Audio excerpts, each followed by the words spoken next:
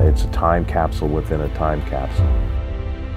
This is the last bit of treasure that we have right now, which is unknown.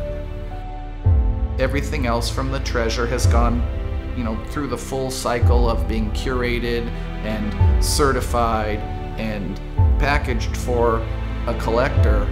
These are the final piece that hasn't.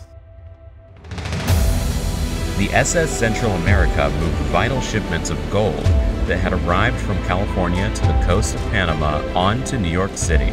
But on September 12, 1857, it sank during a hurricane off the coast of the Carolinas while carrying an enormous treasure of gold bars and coins.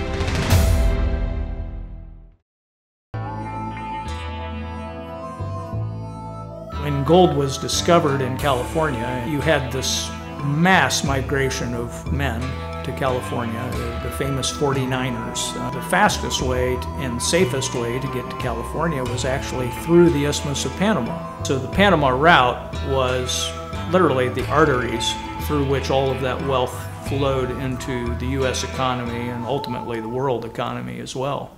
When news of the disaster reached New York City, panic struck.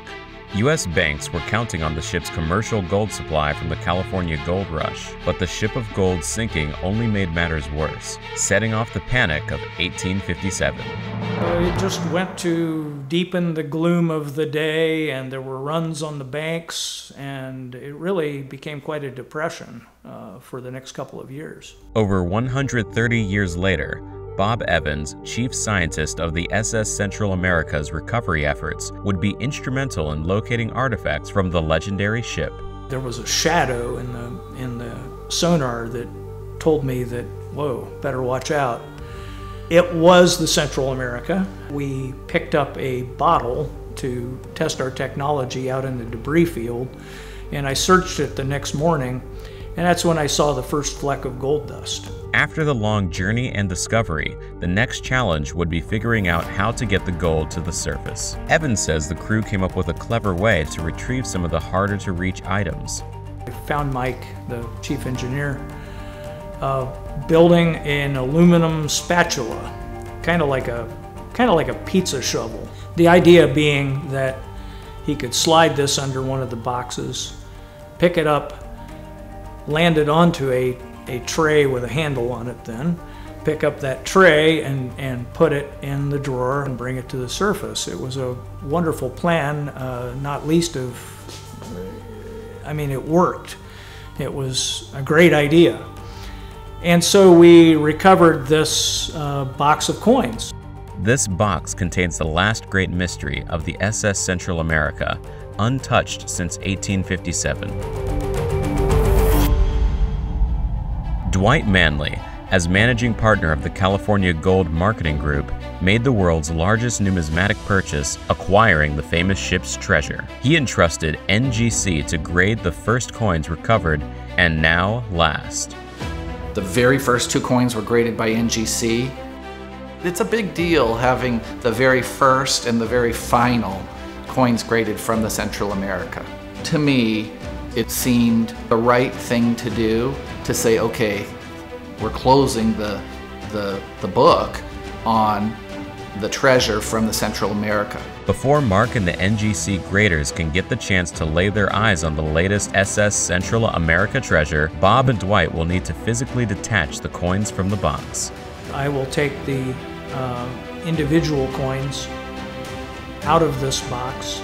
Then I will put them into solution where they will fully demineralize from their now partially demineralized state.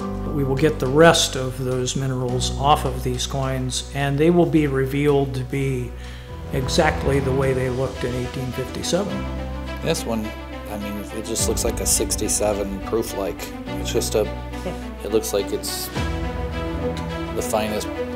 At this point, it just looks like that's an amazing coin. No bag marks, no nothing, just like it fell into your hand from the mint. Holy cow. Dwight, this has got 12 inch mirrors on that reverse. Yeah, that's a deep proof like Look at that. But they're just frosted cameos. Mark's going to be very excited when he gets these in the shipment. It was interesting to me that you see that many proof likes from the same die variety as we were taking them apart. That to me kind of means that somebody who was packing this box already had a stack of proof like coins and he sits there and he goes, okay, I've got 10 coins, I've got, you know, however many, and he was like putting them in the stacks as groups of those. The final number of coins 123.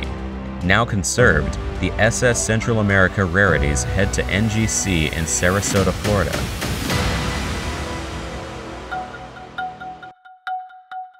One is this mirrored freak that I've never seen. I've never seen a 20 that has this kind of flash and color and depth of mirror. This is a prize. I mean, this is, I've seen a lot of 57Ss. it's like finding an elephant with like three tusks. It's like, it just doesn't make any sense. It's just, it's very, very, very rare. This may be the finest one I've, I've found, and it happens to be. This is a, this is this is a Mac Daddy right here. So um, it's it's just sick. So the combination of the the quality of the surface, the quality of the coins, the way they were found, how they were brought back up, how they were held for the last 30 years together, and then the wood impression, all of that together here today. I mean, it's a once in a lifetime kind of an event. And those are only the first few coins that Mark evaluated.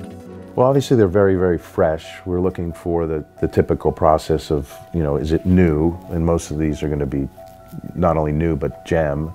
Um, so we're looking at that. Is there any kind of staining? Is there any kind of scratches or, or marks in a particular area?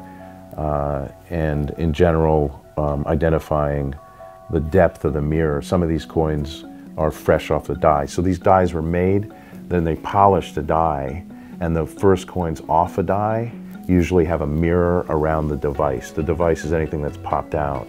And those are highly prized because they're the freshest coins off a die and they have a really dramatic cameo effect. People love that. So we designate PL proof like, which is um, coins that are proof were made specially for collectors um, on highly polished dies. But these are not proofs, but they're proof like. So they have some of them uh, from what I, I can gather. Um, and those are, those are just a very special characteristic that you know, we'll look for. Uh, obviously the grades, highly important. Um, but uh, you know, there could be some finest knowns in here, we don't know yet.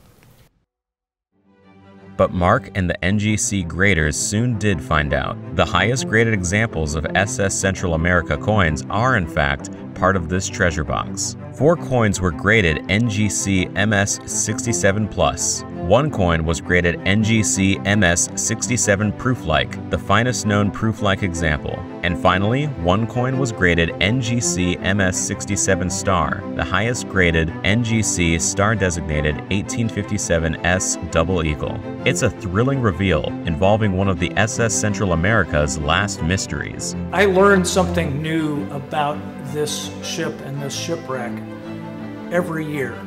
This is a tremendous opportunity to bookend the discovery process with regard to the treasures. It's the greatest treasure ever found in American history. It's the greatest treasure ever lost in American history.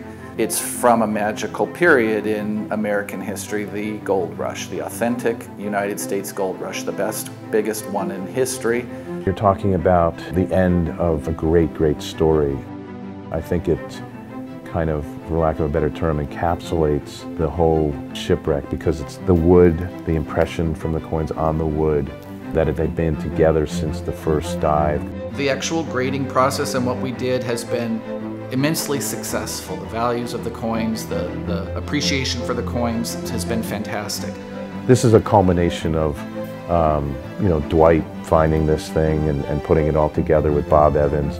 It's a world-renowned collection and to have it come here at the end, the final grouping is just fantastic.